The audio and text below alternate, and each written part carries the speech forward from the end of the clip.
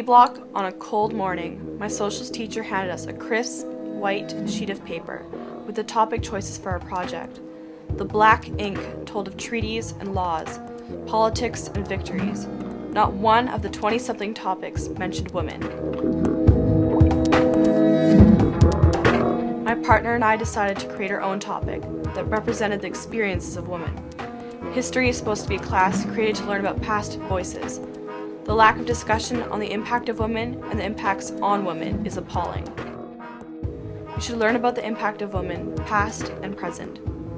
We need to look around us and free the isolated voices and unheard stories to better our future. History should be her story as well.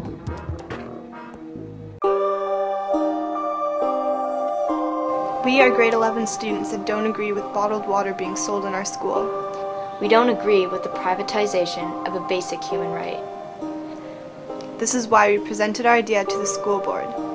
Our idea to ban this damaging merchandise from our school. Our proposal to ban bottled water was rejected by a male-dominated school board. We were shot down and betrayed by the cruel force of politics.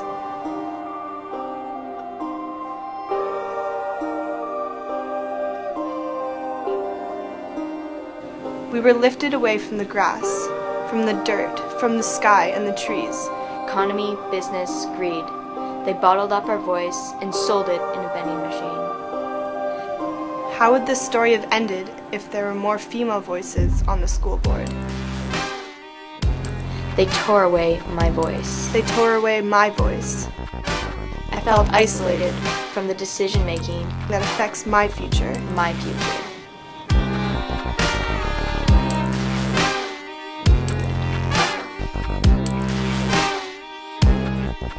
We are done studying history.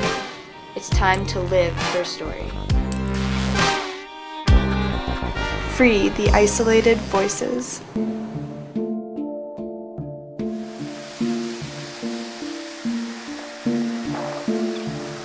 Surrounded by concrete structures, in the city I live in a little bubble. Throw junk down the drain. It disappears, never to be seen again buy plastic bottles. Where does the oil come from? We are isolated from the consequences of our actions, isolated from the creatures suffocating in our plastic, isolated from the communities sick from our toxic waste, and isolated from the reality that we are abusing Mother Nature.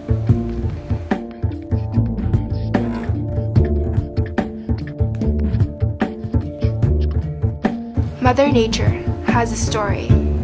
Like history her story.